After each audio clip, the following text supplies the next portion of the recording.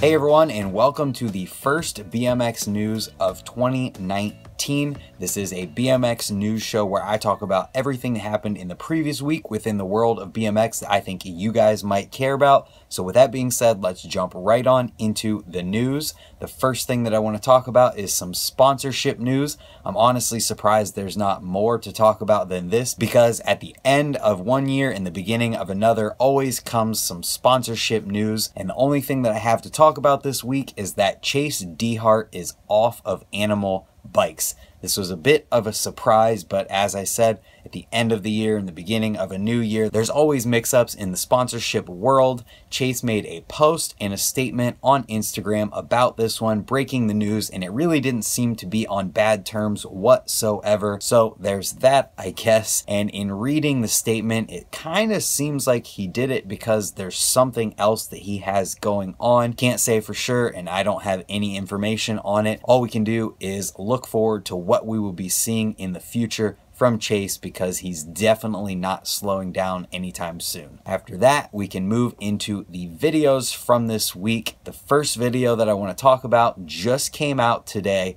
and I watched it just before starting recording this and it's from Brian Hunt and it's called The Good Things and it's from Dig BMX. The first thing that I want to say about this video is that if you're watching this news video right now and you're under the age of 21, you have to watch this video. No exceptions whatsoever. If you're under 21, watch the video. Click the link in the description and go watch this video because if you've ever heard anyone talking about how awesome BMX was in the mid 2000s, this represents everything that they were talking about. Everything about this video was awesome, which is why it was my favorite video of the week by far, and why I'm telling you that you have to watch this video. And I'd say regardless of age, everyone should check this one out because that's how good it is. Stu Johnson put this one together and he did an absolutely fantastic job. I personally feel like BMX is exactly what you make it, so there's really no reason why someone who is still riding and not just watching BMX videos can't live their BMX life as if it's still the mid 2000s. But if you were around BMX in the mid 2000s, watching this video just makes you feel it, and I really hope that more stuff like this one comes out soon. After that, we've got a new Drop the Pin video from Ride BMX, this time featuring Albert Mercado and a couple others. This one is seriously by far my favorite drop the pin video that they've done yet. The first pin was dropped in a place that wasn't exactly rideable and I'm not going to spoil that. I'm just going to let you guys watch the video. I'll just say that it was pretty funny. From there, they dropped a new pin and the video just kept getting better and more really random stuff happened in there. This video has everything from horses to SWAT teams to the hand plant 180 that you see in the thumbnail. And I will say that Demarcus Paul's reaction to the hand plant 180 being landed is probably the best thing ever. That's really all I want to say about this one other than the fact that you guys definitely should check this one out.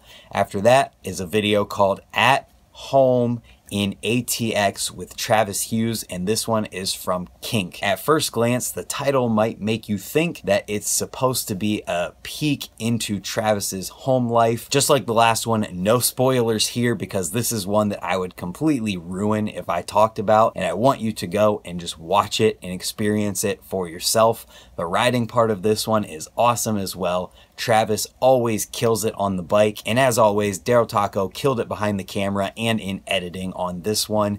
And I want to quickly mention here at the end that I seriously love the direction that Kink has been going with their videos lately from the contender frame promo with the boxing to this one, just having concepts in videos takes them over the top and just makes them that much better. After that, the last video I want to talk in depth about this week comes from Isaac Lesser and it's called We Done Yet and it's from Shadow. When you have a video start with a sub Fufanu on the van that it appears you woke up in, you know you're going to have a good video and Isaac absolutely kills everything he touches in this video. Isaac has so much bite control and skill on every aspect of riding his bike. And I could say a lot more about this video, but it's another one that I think you guys just need to click the link in the description and check out for yourselves. And speaking of the description and clicking links, there are going to be links in the description to every single video and thing that I'll be talking about within this BMX news video in the order that it's talked about. So if there's anything you guys want to check out further,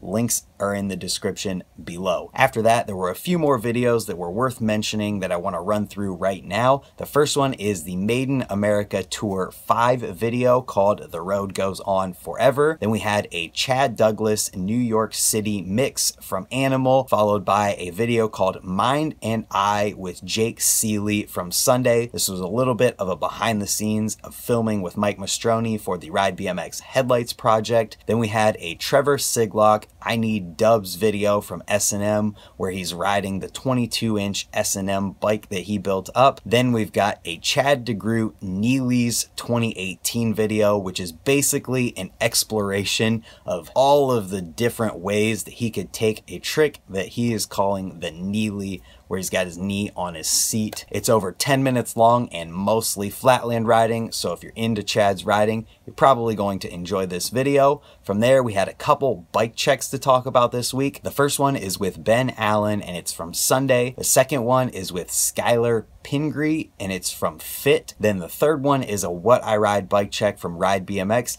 this time with Gaspar Guendulain. Hopefully I said that right. From there, we can move into the product news from this week, which there was an absolute ton of. The first one is some new colors in the Fit High Top V2 stem. The first color is Bourbon Brown, then Blood Red, Tiffany Blue, and Classic Black. This stem has a 51 millimeter reach, a 32 millimeter stack height, and 35 millimeter rise. Then we had some new S&M pivotal and railed seats, followed by a quick promo video for Broc Raiford's signature raft stem from Odyssey. It's just Brock talking for a quick minute about all of the dimensions and colors and aspects of his signature stem from Odyssey. Then we had another promo video in a white Seeley peg promo video from Sunday. This is another promo video that's only a minute long, except this one features mostly riding and it's with Jake Seeley. So if you enjoy Jake's riding, you're probably going to enjoy this video. There's also some nice B-roll of the pegs in this one, so it makes it an all-around great promo video as well. Then another product video from Sunday. This time it's featuring the matte pale pink colorway parts. This is just 30 seconds of someone installing all of the parts that come in this new pink colorway onto a bike for you to get a better look at them. And after that, we've got Courage Adams 2019 Savanna promo from Fly. This is basically a street edit with one or two clips featuring some parts. Courage always kills it on his bike, which most of you probably know. So if you're a fan of Courage's riding, this is another one that you'll probably enjoy. And the last clip is kind of crazy and seems like it would be super scary to do. Then we had Profile Racing releasing some limited edition 50th anniversary 24 karat gold box cranks. This is a very limited run of 24 karat gold plated cranks. They were only $425 and from what it appears, I think that they're all gone because the link that's provided on Ride and on Profile's website takes you to a 404 error and says not found. So I'm assuming they're all gone, but it's still something that's worth talking about because it's it's literal gold cranks. Next, we have some new colors in We the People's message frame, followed by the last thing in product news that the Odyssey Thunderbolt cranks are now available in Chrome. So it's the same cranks that you know, only available in Chrome now for only $10 more than the black version. And that's going to do it for products this week. We've got one interview type thing to talk about, and that is the Rollback podcast. This time it's called Unclicked with Dennis Enarson, and it's kind of what I'm assuming is a bit of a promo for Dennis Enarson's new podcast that he's calling Unclicked. I haven't had a chance to listen to this one yet, but it's always good to hear from someone who's at the very top of their game, such as Dennis right now. And that's the last thing that I wanted to talk about this week as far as BMX news goes. I'm going to refresh ride real quick, as always, just to see if there's anything that we need to talk about. Nope, all good. So that's going to do it for this week's BMX news. Hopefully, you guys enjoyed it. If you did, let me know what your favorite thing that I talked about this week was in the comments down below. And if you did enjoy it and you're new here, hit the subscribe button down below as well. And one more thing, if we're going to keep talking about enjoying videos, if you guys like this one, share it with a friend because it does nothing but help me to be able to make more videos just like this one for you guys to watch. So with that being said, I want to leave you guys with a thank you for being here, and uh, we'll see you tomorrow for another video. Goodbye.